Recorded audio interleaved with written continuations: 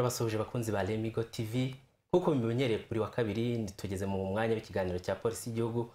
Kuri wa kabiri turabiseguraho ko kije gikererewe no kubera impamvu zitaduturutseho muri studio turi kumwe n'umutumirwa ni superintendent mwenzangu goreti ni umuyobozi w'ishami rya polisi rishinzwe kurwanya ihohoterwa rishingiye ku gitsina n'irikorerwa mu ngo ndetse n'irikorerwa abana turabakiriye. Murakoze cyane. ni na cyo icyo mbabwiye ni na cyo tugiye kuganiraho. Hanyuma turagira ngo mutangire mutubwira ese musobanure ihohoterwa rishingiye ku gitsina ni iki hari abantu bashobora kuba bakora ibikorwa bitandukanye byakwitwa ihohoterwa rishingiye ku gitsina kandi nyamara batabizi. Nimutangire musobanura ihohoterwa rishingiye ku gitsina ni iki niba rinafite ibyiciro na byo mubigarukeho. Yego. Murakoze cyane. Nk'uko yabivuze nitwa superintendent goreti mwenzangu. Abandi umukozi wa cid ubugenzacyaha muri polisi mu ishami rishinzwe gukumira ihohoterwa n'ihohoterwa rikorerwa abana. Nk'uko yabivuze ihohoterwa ubundi dushingiye ku itegeko rihana ihohotera ni igikorwa icyo ari cyo cyose gikorerwa umuntu atabishaka ndetse kikamugiraho ingaruka mbi. Ingaruka mbi. Icyo gikorwa ntabwo aba agishaka mbese ubwo ni ku ngufu hanyuma nyuma y'aho ngaho kikamugiraho ingaruka mbi. Gishobora kuba kimukorerwa kubera ko ari umugabo cyangwa ko ari umugore cyangwa se kubera ko ari umwana ariko cyane cyane kubera ko ari umugore cyangwa umugabo. Ihohoterwa ry'abana ryo riri uburyo rifite uburyo riri turaza kurigarukaho kwaryo.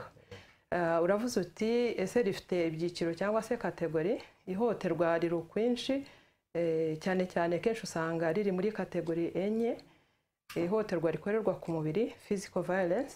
Hari sexual violence irya hohoterwa nyine rishingiye ku gitsina hakaba n'ihohoterwa rishingiye ku mutungo hakaba n'ihohotera psychological cyangwa se uburyo bw'imitekerereze yego imitekerereze cyangwa rishengura umutima ni amoko ane ariko ayo moko ane na yo afite utudetayi duto duto umuntu agenda asanga niba watugarukaho natwo mu magambo make? Yego. Ni ukuvuga yuko ihohoterwa physical violence harimo gukubita ugakomeretsa harimo kuba wakwica umuntu na byo biri muri fiziko kuba wafashe wakubise cyangwa se uramwishe na byo birashoboka. Noneho muri sekisho hariho gufata ku gitsina cyangwa se gukorakora umuntu ushobora kumukorakora uri mu ruhame ushobora kumukorakora muri mwiherereye cyangwa se kumusambanya mbese bijya mu byiciro bitandukanye ariko muri ibyo byiciro bine. Hanyuma ushingiye wenda ku mibare igaragara uru rwego uhagarariye urwego rushinzwe kurwanya iryo hohoterwa rihagaze rite mu rwanda? Ushingiye ku mibare? Murakoze cyane. Imibare ikomeza ihindagurika. Mu myaka yahise imibare yagaragaga kuba ari mitoya cyane ariko si ukuvuga ko ihohoterwa ko ritari rihari. Ryari rihari ahubwo abantu ntabwo barivugaga ntabwo bisanzuraga ngo bajye mu nzego za leta babivuge. Cyangwa se mu buyobozi bubegereye babivuge ariko abantu barakangutse uko bakangutse ni nako twakira imibare iri hejuru ariko bitavuze yuko ihohoterwa rihari cyane rikabije ahubwo ni uko ibyahise imyaka ingahe isi itanu itandatu ukabona umuntu araje ati njye mu myaka itandatu byagenze gutya ugasanga imibare iri hejuru. Ariko cyane cyane imibare navuga iri hejuru cyane ni imibare ya defayimenti kwangiza abana sexually kwangiza abana niyo mibare usanga iri hejuru cyane abana batoya hagati y'imyaka cumi cumi n'itanu ugasanga iri muri mirongo inani ku ijana abana batoya basambanywa ntitwavuga ngo ni ku ngufu ko nta n'ingufu bagira nta ngufu bafite zo kurwanya ubu ngubu uba ugiye kubasambanya irindi rikurikira ni ugukubita no gukomeretsa. Usanga abantu bakuru iyo kapozi zashwanye barakubitana undi agakubita undi akamukomeretsa akamukuraho akaboko cyangwa se akaza avirirana niryo usanga ari irya kabiri mbese mu mibare dufite kugera kuri mirongo itanu ku ijana. Hanyuma tugarutse ku ruhare nka polisi ishami rishinzwe kurwanya ihohoterwa rikorerwa mu ngo. Uruhare rwanyu ni uruhe? Tubasanzwe tuzi ko muri abagenzacyaha. Murafata mugafunga abantu mukabageza imbere y'ubutabera. Ese kuri iki cyaha cyo kuri ibi bikorwa uruhare rwanyu ni uruhe? Ni mukomeza muri bwa buryo bwo gufata mugafunga mukashyikiriza abakekwaho ibyo byaha ubutabera. Uruhare rwanyu ni uruhe? Murakoze cyane. Icyo kibazo impamvu usetse ntago polisi ifunga gusa. Eh, icyo ni cyo cya nyuma cyo gufunga. Kandi of course iyo umuntu yakoze icyaha polisi niyo ifite ubwo bubasha bumufata bakamukura mu- muri komite nyarwanda agafungwa. Nta bandi bashobora kumufunga. Noneho rero uti urundi ruhare se mufite ni uruhe? Uruhare dufite runini cyane ni uko dukora ubukangurambaga of course dufatanyije n'abandi n'izindi nzego za leta mije profe gmo cnf n'abandi bose bafatanyabikorwa tukamanuka tukajya mu baturage tukababwira ihohoterwa iryo ari ryo uwarikorewe tukamubwira n'aho yagera kugira ngo bamuhe ubufasha ntiyigunge mbese dukora na communication materials. Ibintu bivuga cyangwa se byanditse nk'ubu ngubu turi mu kiganiro umuntu udukurikirana arabibona ko polisi irimo irakora so ntabwo dufunga gusa. Dukora ibintu byinshi. Yego murakoze cyane. Eh, hanyuma tugarutse kuri iki kibazo nanone eh, aba- abakeka ko gishobora kuba gikomoka ku muco. Eh, iki kibazo nagira ngo gitindeho kuko hari abanyarwanda by'umwihariko abanyarwandakazi bagihohoterwa mu miryango. Njye nahoze mvuga ngo ni mu cyaro gusa ariko hari bagenzi banjye bambwiye ngo no mu mujyi birahari. Hari abantu bahohoterwa ariko ntibabivuga. Mm. ariko ntibabitangaza ariko ntibabibwire inzego zibishinzwe nk'amwe namwe muri mwe n'izindi nzego mukorana ahangaha mukora iki? Nagira ngo ubisobanure ubitindeho rwose. Icyo mukora kuri iki kibazo guhangana na cyo. Dukora ibintu byinshi nk'uko nabivuze ubukangurambaga burya ni- ni cyo kintu cy'ibanze. Ariko iyo tuvuze umuco ni ikintu kinini cyane kandi kigari ntasobanura nonaha. Ariko hari umunyarwandakazi ucyicaye mu rugo yumva ko ngo niko zubakwa. Baracyahari nubwo ubuyobozi bushyigikiye abanyarwandakazi ko bavuga hari inzego zitandukanye hari mekanizmu zitandukanye zo gufasha mwari n'umutegarugori ariko hari babandi bavuga ati sinishyire hanze ntibanyumve ntibazangaye ko nananiwe urugo ruramunaniye ibintu nk'ibyo. Ikindi kintu ku ruhande rw'abagabo bumva ko hari that man supremacy. Kumva ko ndi umugabo niko byahoze ni njyewe shefu w'urugo umugore ntagomba kuvuga so iyo umugore agize icyo avuga ati ceceka n'ubundi niko bimeze. Nawe ku ruhande rw'umugabo akumva ko afite that man supremacy male supremacy. Noneho n'umugore nawe agahora ngo niko zubakwa agaceceka. Ariko nanone burya gbv ntabwo ari ikintu kiba umunsi umwe nta nubwo ari n'icyumweru kimwe. It's a process. Umuntu uh, yubaka urugo uhereye uyu munsi wenda mu cyumweru gitaha akaza ka conflict gatoya hagati y'umugore n'umugabo bakakabika. Nyuma y'ukwezi hakazaza n'akandi nyuma y'umwaka hakabamo gukubita ariko baratangiye babwirana nabi mbese it's a process kandi birakura. Iyo byamaze kurenga umuntu ni ho yumva ko ah i should go and report. Reka nshake polisi iri hehe n'izimfashe kubera ko byarenze. Ariko iyo bikiri hahandi hitwa ngo ni hagati aho ngaho ni mwayene aba yumva ari nta- n'umuntu yabwira ngo ntibanseke ntibangaye iwacu se bazabyumva gute? Mbese ugasanga aziritswe na cya kintu cyo kuvuga ndi umugore ndi umukobwa na mama niko yubatse na nyogokuru niko zubakwa. Eh, icyo kintu cy'umuco rero ariko hari amategeko hari inzego za leta zigenda zikangurira abantu kubivuga benshi ubu ngubu barabivuga. Usibye ko reka dusubire ku ruhande rw'abagabo.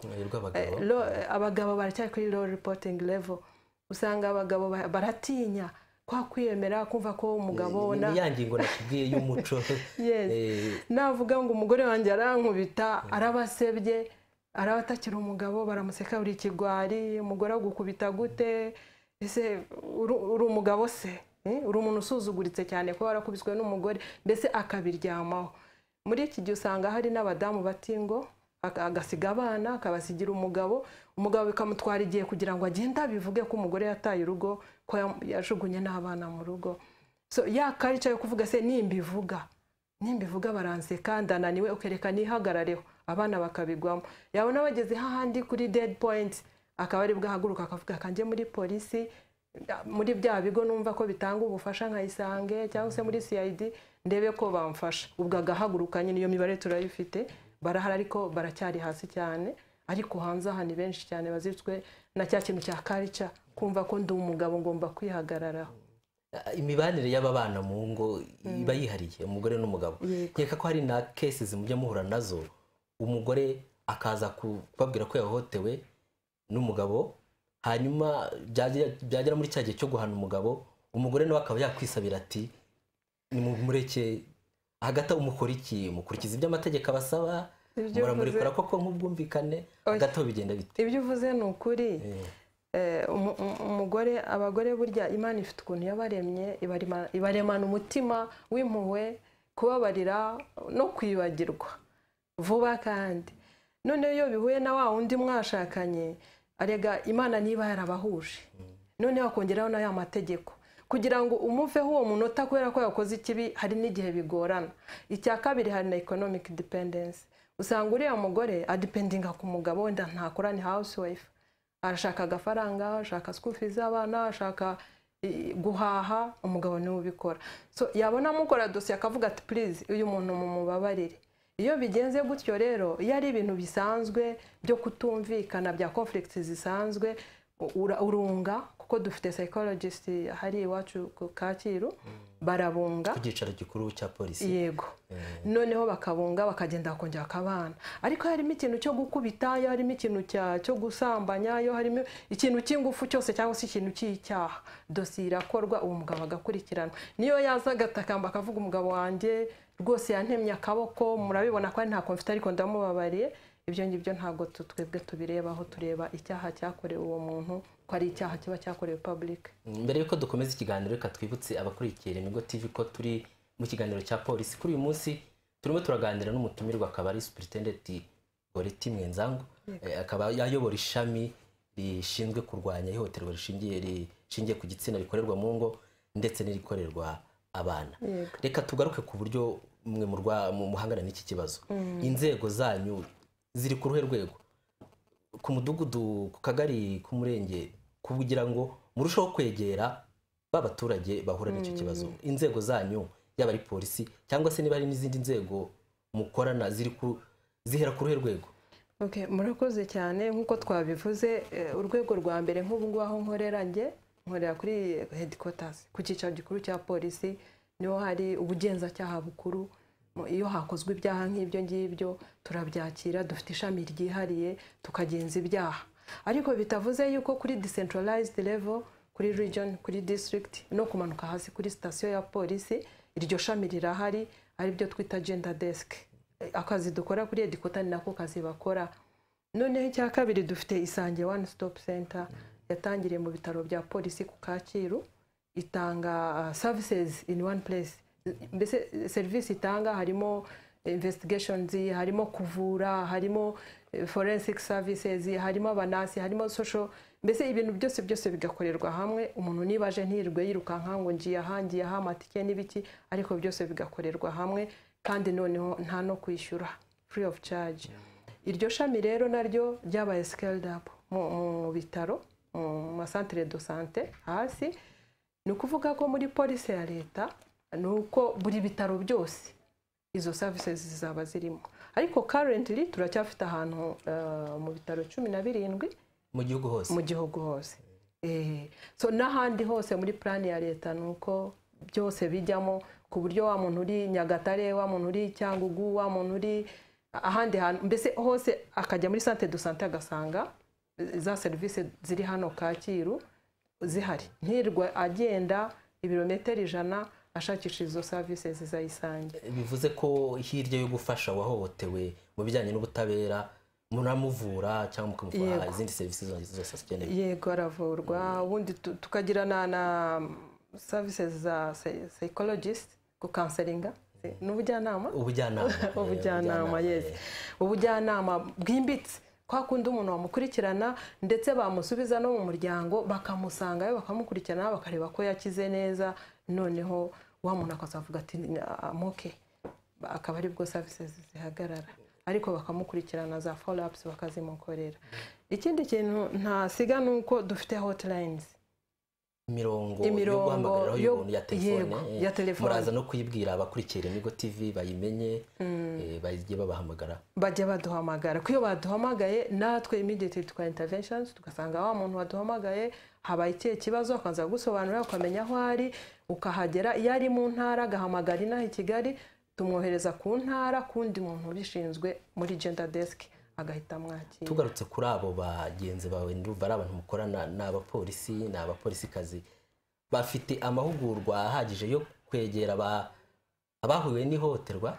Yego urakoze cyane. Kuko ntabwo ari buri muntu wese ushobora kwakira umuntu wagize icyo kibazo. Ariko hari abantu bahuguriwe eh, kwakira umuntu wahohotewe. Cyangwa se umwana wahuye n'ibibazo muri ubwo buryo nk'umwana.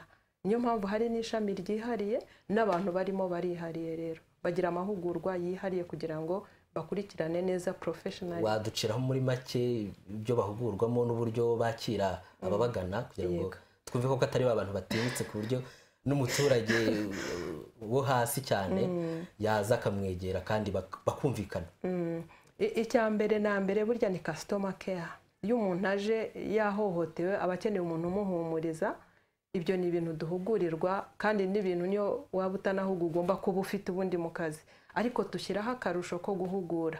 Umuntu niba aje akugana arimo kurira cyangwa arimo avirirana cyangwa se umugabo yamukubise wamubwira ngo nanjye iwanjye arankubita ngo ngo uba wihanganye ntabwo bishoboka. Ubwo uba ufite amahugurwa yihariye kasitoma keya icya kabiri hari uburyo tekinike uburyo wakira ibyo bibazo. Buba butandukanye gatoya n'uburyo wakira ibindi bibazo bisanzwe cyangwa se ibindi byaha umunyacyaha iyo yaje cyangwa se uwagikorewe haba hari izindi tekinike dukoresha mu buryo butandukanye. Eh, ikindi kintu wumvishemo abantu batandukanye muri isange harimo psychologist abajyanama harimo forensics babandi bafata ibimenyetso niba umwana yasambanyijwe niba umugore yafashwe ku ngufu gufata ibimenyetso mu buryo bwihariye niyo chain of custody kugira ngo ibimenyetso ntibite agaciro ntibyangirike bifite uko biva ku muntu umwe bikajya kundi bikajya kundi kugera aho bigerera mu rukiko. Abo ni abantu bihariye rero. Harimo n'ibindi byinshi. M- mbere y'uko tujya ku cyiciro cy'abana ndagira ngo nibutse abakurikira imigo tv ko bashobora kugira uruhare muri iki kiganiro bashobora guhamagara ku mirongo ya telefone babona kuri e- ekara zabo. Abari kuri tekinike baraza kudufasha dusoza ikiganiro turaza kwakira abafite ibibazo ibitekerezo ndetse n'ibyifuzo. Reka tujye ku cyiciro cy'abana. Abana bo bafashwa bate? Icyiciro cy'abana mufasha kugira ngo yitwe umwana mumufashe mu cyiciro cy'umwana wahohotewe ni umwana ufite imyaka ingahe ni umwana uri mu kihe cyiciro dusobanura ku bijyanye n'umwana. Mm, murakoze cyane. Ubundi amategeko y'u rwanda asobanura ko umwana ni umuntu uwo ari we wese uri munsi y'imyaka cumi n'umunani ni we mwana. Hanyuma uko tubafasha navuze services zitandukanye muri investigations mvuga services zitandukanye muri isange. Izo services rero haba harimo n'iby'abana ku buryo bw'umwihariko ndetse n'abakozi babakira haba hari n'ab'abana ku buryo bw'umwihariko kuko uburyo wakiramo umwana si bwo buryo wakiramo umuntu mukuru. Hari abana batinya kuvuga ushobora kuza umwana w'imyaka itanu eh, kumuvugisha bisaba ubundi buhanga. Eh, ibikinisho eh, cyangwa se mm, toys zitandukanye kugira ngo ubanze ubimuhe urebe uko abifata urebe uko abikora hanyuma umenye icyo atekereza cyangwa se icyamubayeho abo nabo barahari. Noneho rero hari amategeko yihariye yarengera abana child protection laws ni ukuvuga ko izo na zo zirihariye ntabwo ari kimwe na law eh, ku bantu bakuru. Nayo uyajyamo ukareba ibyiciro bitandukanye by'abana ese umwana yahohotewe gute byamugendekeye gute se Ah, mbese abana bahohoterwa mu buryo butandukanye. Hari ugukubita ukamukubita cyane wenda benshi bavuga ngo ni uguhana ngo ni ka kanyafu ka kinyarwanda ngo ni ukurera eh, kibyeyi. kurera ibintu nk'ibyo. Ariko hari bamwe bihanukira bagakubita ugasanga umwana yafashe kebo y'amashanyarazi cyangwa se ya telefoni yamukubise mbese na yo imusigaho marike ko yamukubise. Ubwo muri icyo gihe cyo kiba ari icyaha iyo dosiye irakorwa. Hari umwana ukoreshwa akazi k'ingufu nanone ukabibona ko ari akazi k'ingufu cyane cyane aba batwara wenda ahantu eh, muri mining areas.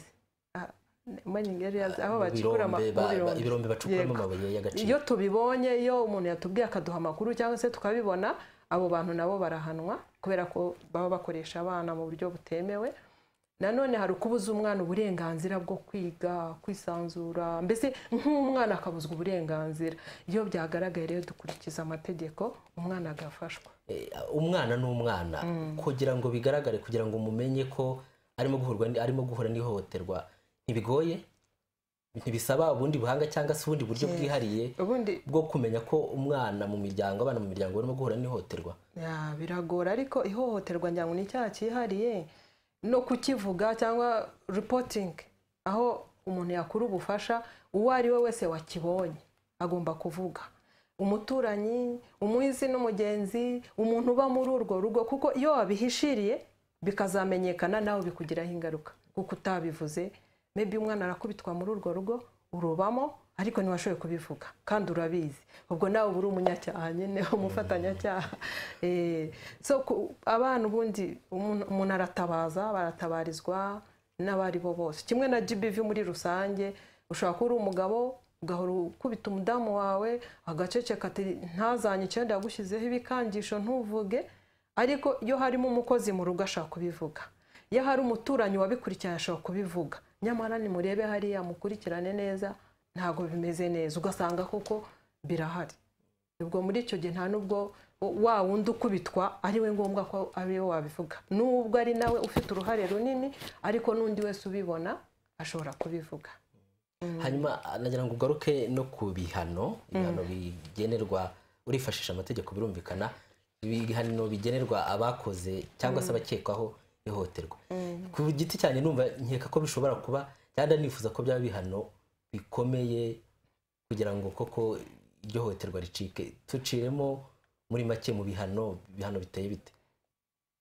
Murakoze cyane. Icyo kibazo bakunda kukibaza abantu benshi. Hari n'abavuga ko ibihano muri GBV law cyangwa se child protection ari ibihano byihanukiriye cyane biremereye.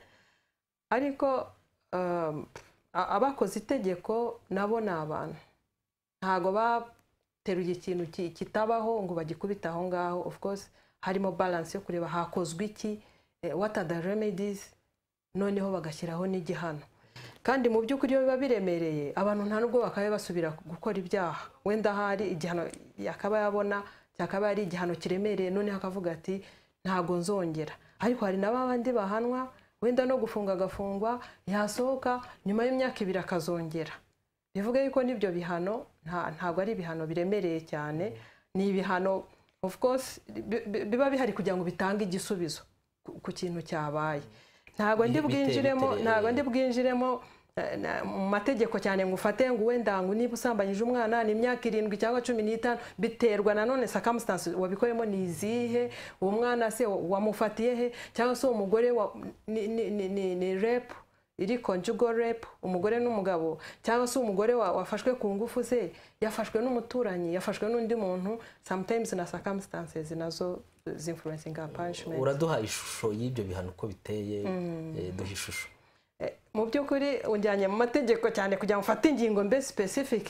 Ntago uyu munota ntago mfite amategeko ari specific. Ni bibi no kubeshya kuba navuga ni igihano. Niba wakoze icyaha cyo gusambanya umwana ngo imyaka cumi n'itanu cyangwa wagikoze mu izihe circumstance na zo tubanza kuzirebaho. Murakoze cyane. Mbere y'uko tusa n'abegera umusozo reka mbaze abantu bari kuri tekinike niba hari umuntu ku murongo wa telefone ufite igitekerezo icyifuzo cyangwa ikibazo ashaka gutambutsa muri iki kiganiro twamwakira nta kibazo. Eh, ku murongo wa telefone bishobora kuba nta muntu uhari. Reka dukomeze. Abagore abana bo mu cyaro nakomeje mbivuga basho- nkeka ko ari bo bashobora kuba bibasirwa.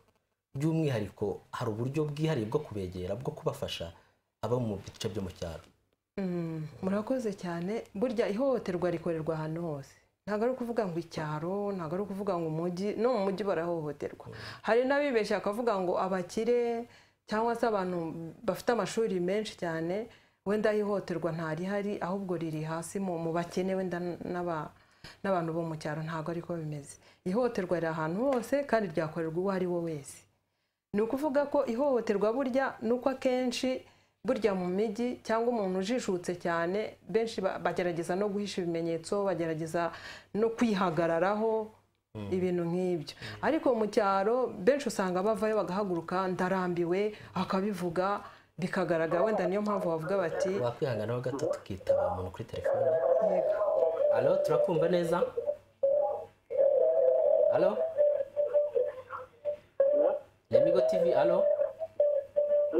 turakumva neza.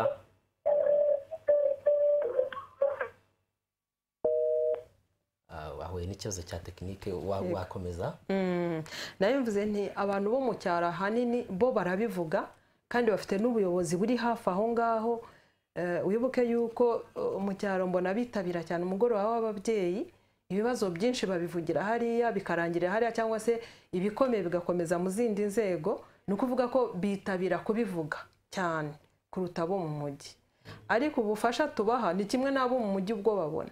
Kuko naho burahari iyo polisi irahari sitasiyo ya polisi irahari abagenzacyaha barahari ibitaro birahari izo savisi zayisanga zirahari nubwo hari ibitaro aho zitaragera hose ariko zirahari. Harabura iki? Harabura iki ngo izo serivisi zigere ku bantu bose? Kurumva ni serivisi buri munyarwanda uri mu gihugu cyose uwo ari we wese akeneye. Mu by'ukuri sinzi gahunda mufite yo kwagura ibyo bikorwa. ikibura ni igihe gusa. Kubera ko gahunda irahari leta irabikora byaranatangiye ngira ngo yatangiye umwaka umwaka ushize eh, byaratangiye. Hanyuma eh, abaterankunga barahari project design yarakozwe irahari. Niba ukurikirana eh, madamu wa perezida wa repubulika yagiye afungura hamwe na hamwe nyagatare kacyiru n'ahandi hose n'abandi bayobozi bagenda bafungura. Izo zayisange branches reka nzite gutyo zirahari zirimo zirafungurwa. Ariko buri kintu gikorerwa igihe. Ni ukuvuga ko bashobora kuba bihaye intego bakavuga uyu mwaka tuzakora eshanu zigakorwa undi mwaka mbese bakiha intego. Twitabe muri kuri alo turakumva neza remigo tv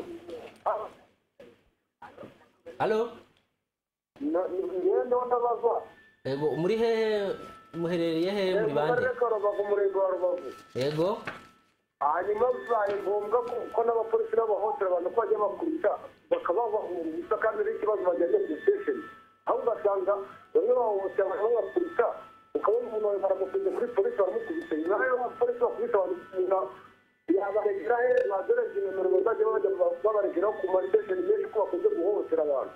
Mbariza aherereye ari rubavu ngira ngo Eh, twakumvishe reka. Yego reka bagusubize. Urakoze cyane.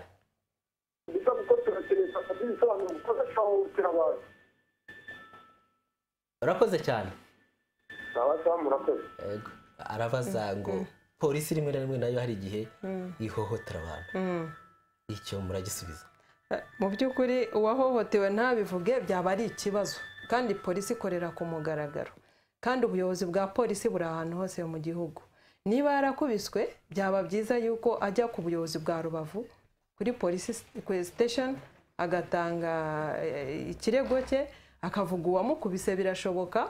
Niba byaranabaye akabivuga. Ariko ntabyitiranye na bya bindi aho abaturage nabo baza bigometse kuri polisi izo kese zizarabaye. Na- iyo ari mu- mu- muri ubwo buryo urumva ko ibyo ari byo byose hari amategeko abigenga hari n'uburyo uko umupolisi agenda abyitwaramo. Ariko niba yarahohotewe byaba byiza yuko atanga ikirego ntagicicikane cyangwa ngo ategereze ko akivuga kuri televiziyo kandi hari ubuyobozi aho yakaba yakivuga neza. Hari undi muntu ku murongo wa telefone twamwakira nta kibazo? Alo wi turakumva neza muri bande muherereye he? Kacyiru. Yego ikibazo cyanyu? Mwavuga cyane mwakongera ijwi? Rifuza kubaza ikibazo kijyanye n'ihohotera yego. Rikorerwa abana bakiri bato bari munsi n'umunani bakoreshwa imirimo yo mu rugo Mhm. icyo polisi bateganyiriza yego hari umuntu nzi gukoresha umwana ukiri muto w'imyaka cumi n'ibiri. Mhm. umuturanyi yego Ah, nagerageje kubibwira inzego z'ibanze ariko ntacyo zabikoze yego baragusubiza. Murakoze cyane. Uyu arabaza ikibazo cy'abana. Bari munsi y'imyaka cumi n'umunani bakoreshwa mu ngo. Anatubwiye urugero rw'uwo cumi n'ibiri. Avuze cumi n'umunani. Eh, ese iki kibazo cy'abakozi bo mu rugo abana bo mu rugo bakoreshwa imirimo yo mu rugo bari munsi y'imyaka y'ubukure aravuga ko bahohoterwa. Wenda bagisobanura muri rusange ariko anavuze na kese ngo yagerageje kugeza ku bayobozi b'inzego z'ibanze ariko nta kintu bakoze. Eh, arakoze cyane ko yabivuze ariko eh, umuntu niba akora akazi ari ku myaka cumi n'umunani uwo muntu aba yujuje imyaka y'ubukure. Abari munsi y'imyaka cumi yego ubwo ni byo ngerageza gusobanura. Cumi n'umunani aba ari ku myaka aho ashobora kuba yakora akazi bitewe wenda n'ubuzima arimo birashoboka ko wenda amashuri ntiyayakomeje cyangwa se hari ubundi buzima yabayemo bigatuma ajya muri ako kazi. Noneho ku mwana uri munsi y'imyaka cumi n'umunani ibyo ari byo byose ibyo ngibyo binyuranyije n'amategeko aho akora aho ariho hose. Ni uko nyine polisi ntiyagera buri rugo rw'umuntu ngo imenye uwo mwana ukoreshwa akazi ari umwana. Ahubwo wowe muturage ubibona guhamagara polisi akatubwira cyangwa se akabwira izindi nzego baturanye. Hari za community policing birirwa hariya hasi ku midugudu. Hari aba bayobozi b'inzego z'ibanze ku kagari abashinzwe amakuru abashinzwe ko byose. Yego. Ubwo- Eh, wenda ni kesi imwe batagize icyo bafasha ariko wenda ahandi barabikora. Noneho abatabizi nabo babyumve. Bamenye yuko utanze amakuru amakuru ni ngombwa wa muntu kugira ngo nawe bamufashe mu- wenda ashobora kuba anakora kugira ngo ashake imibereho. Ariko ni umwana. So niba ubimenye ko ari umwana ni byiza yuko utanga amakuru kugira ngo n'inzego za leta na zo zimutabare. Ahubwo icyo namubwira ni uko niba aho ngaho bitageze bikunda azaduhamagare ku- mirongo ibiri. Hari mirongo itatu na gatanu cumi na kabiri. Hari ijana na cumi na gatandatu ni mirongo itishyurwa. Hanyuma ubwo ari na kacyiru ho biranoroshye azaze no ku biro by'ubugenzacyaha dukurikirane. Naduha amakuru twe tuzahita dukurikirana. Ibyo biroroshye. Eh, hari undi muntu tugana ku musozo twamwakira alo alo remigo tv alo remigo tv Hello, turakumva neza muri bande muherereye? He Emmanuel rusizi. Igicumbi. Yego. Ndashaka kugira igitekerezo ntanga yego. Ibyo koko ni kuvuga ukuntu ibihano n'amahohoterwa akorwa mu buryo butandukanye. Ariko nigeze ngira amahirwe yo gufata noti yo ku mategeko Mhm.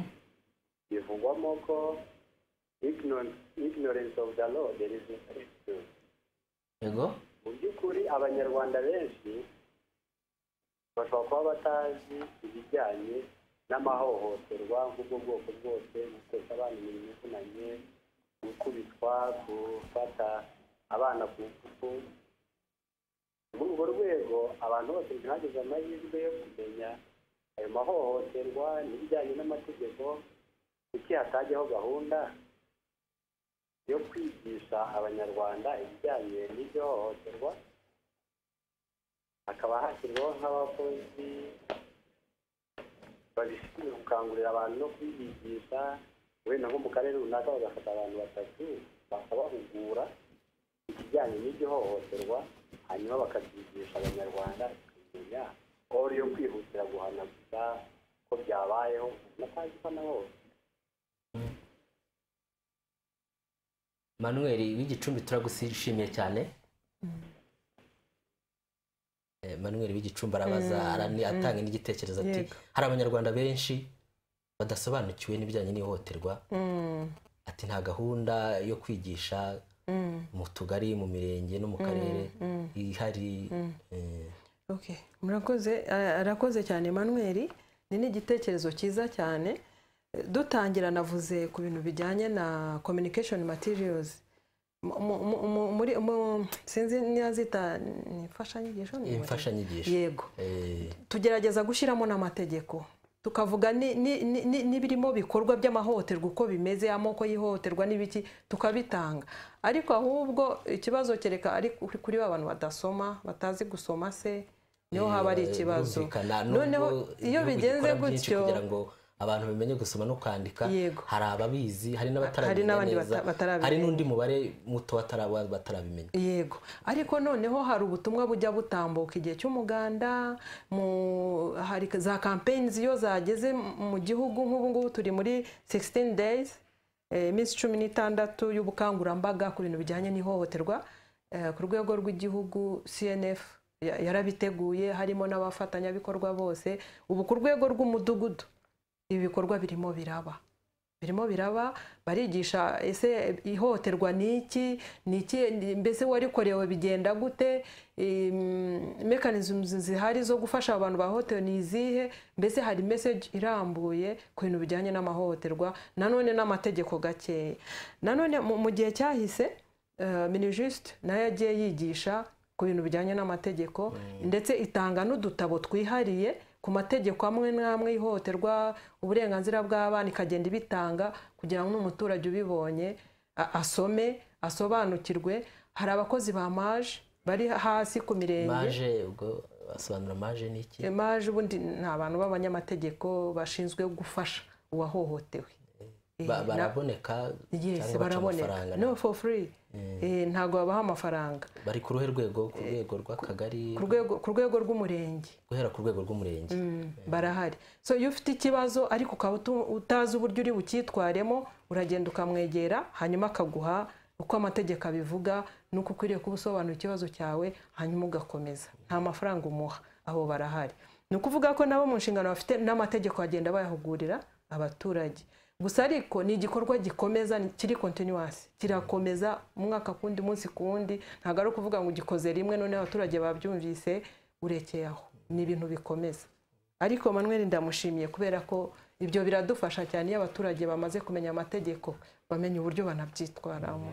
Mbere y'uko tugana ku musozo niba hari umuntu wa nyuma twamwakira kuri telefone. Alo turakumva neza remigo tv alo alo alo turakumva neza muri bande muherereye ahagana he? Ni Nsabimana muvugana. Nsabimana eh yego nsabimana muherereye he? Alo yego turakumva neza mu karere ka kayonza. Yego nsabimana w'i mu kayonza. karere ka kayonza. Yego.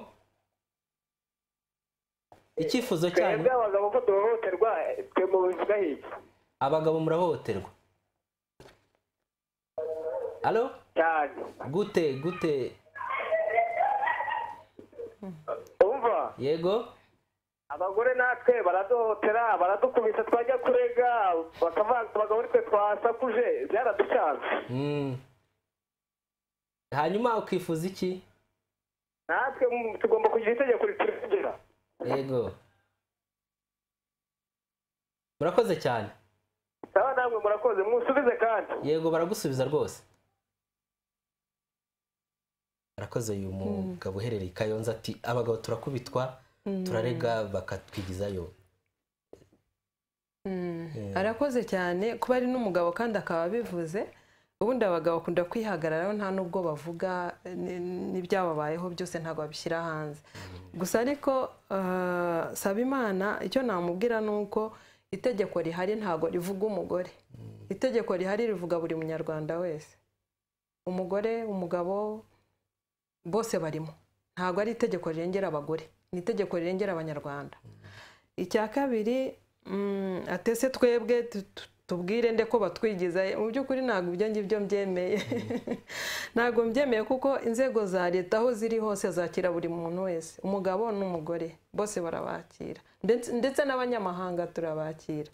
Muri ibi bintu bya GBV n'abanyamahanga benshi baraza bakatubwira ibyababayeho kandi tugakurikirana. Icyo namubwira ni uko agomba kumenya neza aho ajyanye ikibazo. Ntazakijyana ahatariho. Aho bagomba kumwakira aho azi ko eh, bari bumuhe amakuru nyayo aba ariho azajya ajya wenda ashobora gusanga ajya ahandi hantu aho batari bumuhe amakuru nyayo cyangwa se ubufasha bukwiriye akaba ariho atanga ikibazo cye. Ariko mu nzego za leta aho ariho hose. Bakira ibibazo by'amahohotera. Ikindi nabwira Nsabimana ni uko abagabo ni bakeya cyane bahaguruka.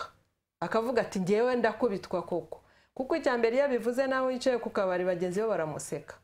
Urumva? Akumva ko ari ikigwari akumva ko ari ko atari umugabo akumva yapaho twatangiye tuvuga ko ari ntayo afite.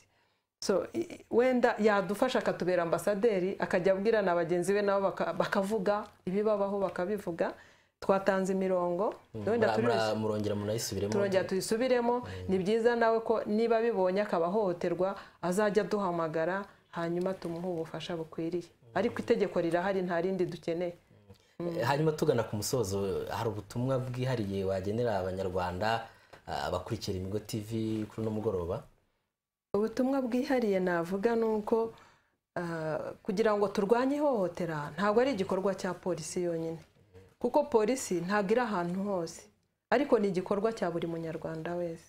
Buri munyarwanda aho aherereye yaba umugore yaba umugabo yaba umwana nabona igikorwa cy'ihohoterwa icyo ari cyo cyose. Nahita duhamagara bitubwire cyangwa se nabwira inzego za leta ziri aho ngaho zitanga ubufasha kandi bwihuse.